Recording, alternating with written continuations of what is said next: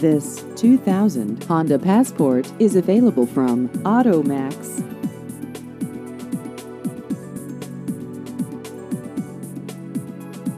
This vehicle has just over 87,000 miles.